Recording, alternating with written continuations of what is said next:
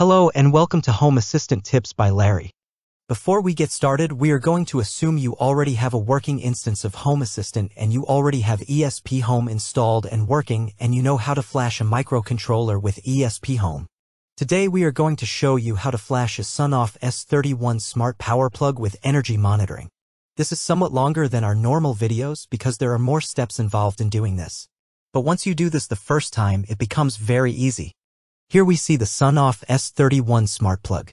In order to use it in Home Assistant natively, we must first take it apart in order to flash it with ESP Home. Here, I am going to remove the end cap with a tool designed to pry plastic parts apart from each other. If you don't have one of these tools, you can use a straight edge screwdriver instead.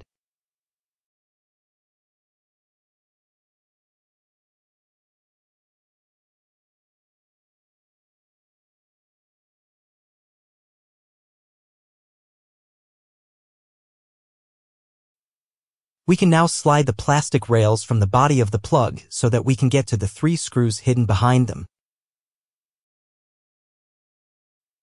Here we can now see the three Phillips head screws we need to remove to take this plug apart.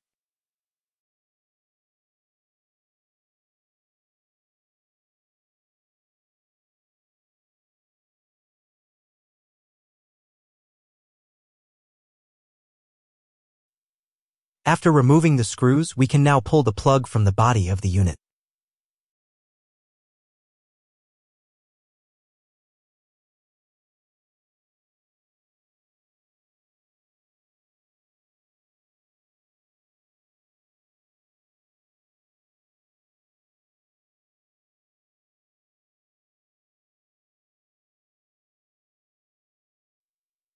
Here we see a serial adapter that you will need to buy in order to flash the plug with ESP Home. Also, connected to it are clips that you will need to buy as well. These items and the wiring diagram for the connectors are in the video description.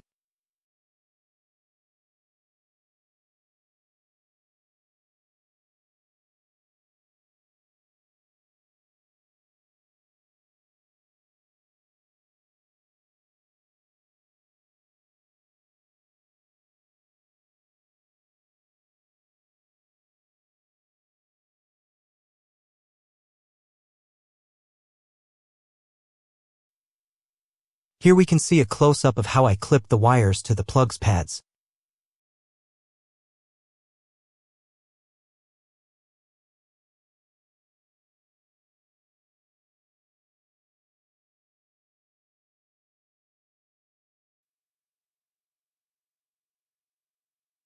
And here is a USB switch that makes it easy to be able to flash the plug as you will need to hold the button down on the plug and then plug the USB cable into your computer. This makes it a lot easier but not totally necessary. Now I will plug the serial adapter into another of those switches that I just showed you which is connected to my computer. Now I have switched to my Home Assistant screen and I will click on the ESP Home button then the New Device button.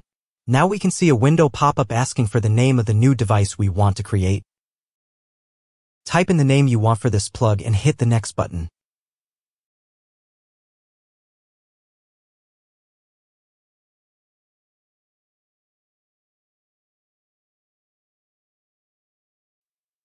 Before you hit the connect button, hold down the button on the plug and then turn on the switch on the USB cable.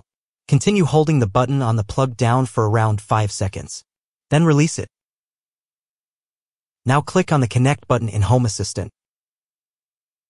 A screen will pop up and there should be an option to connect to CP2102 USB to UART bridge controller.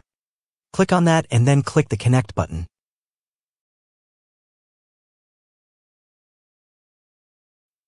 Your Home Assistant will connect to the plug then install the firmware onto it. I have speeded up the video so you don't have to wait here.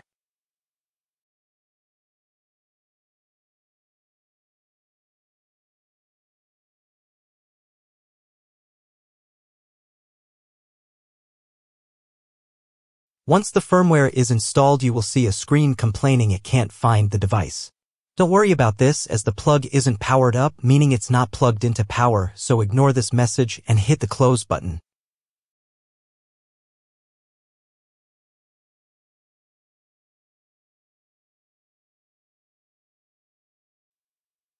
Now remove all the clips from the plug so that we can reassemble the plug.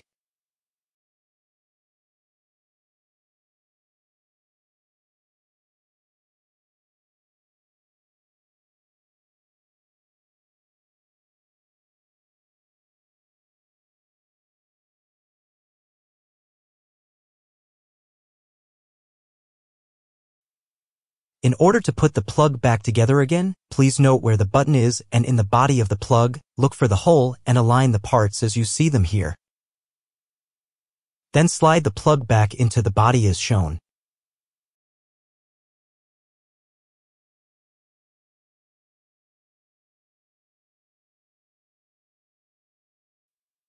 Now replace the three Phillips head screws.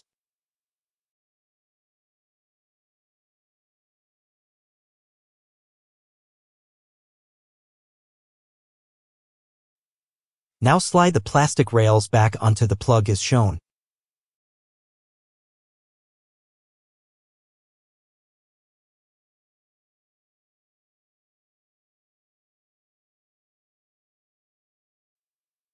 Now, snap the cap back into place.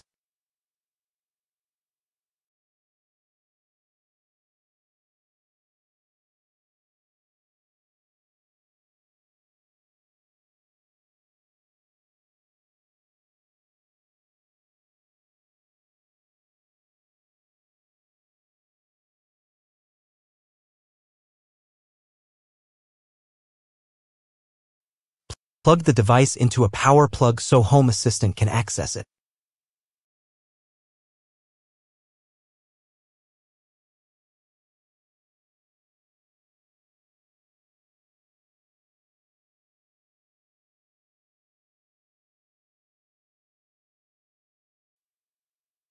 Now we are going to finish up the install of the device in Home Assistant and test the plug. Here we click on Notifications button in Home Assistant. Now we should see the plug we installed in Home Assistant, so just click on the Configure button and a box will pop up wanting to add it to Home Assistant. Just click the Submit button, then hit the Finish button.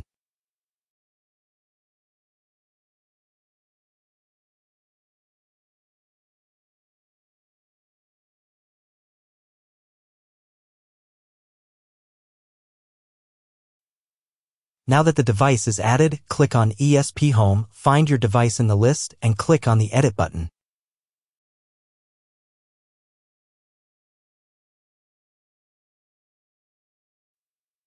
Next paste the ESP Home code that you will find in the video description and also on my Discord server as shown.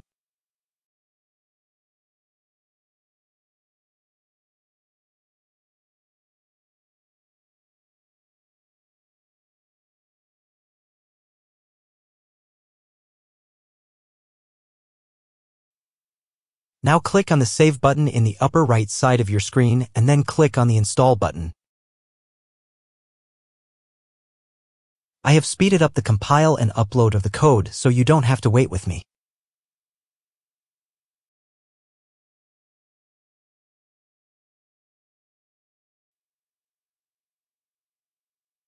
Now click on the Close button and exit out of the edit screen. Now I am going to check to see if mine is working as it should.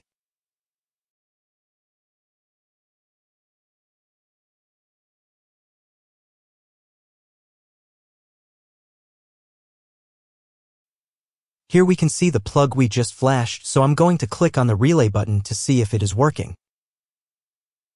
And as you can see the red light on the plug just turned off, so it is working correctly. Now I am going to plug in a stand-up fan to see if the power readings are working as they should.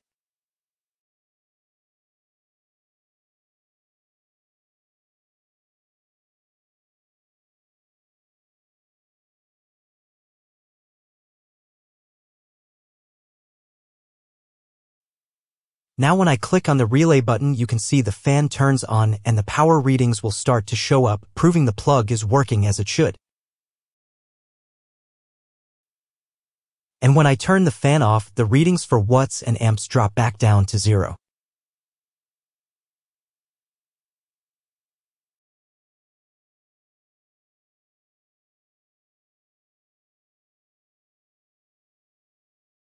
The code to get the sensors working in ESP Home will be linked in the video description. We hope you enjoyed this video. Please like and subscribe to this channel so we can continue to make these videos and as always if you have any questions please ask them in the comments section. See you next time.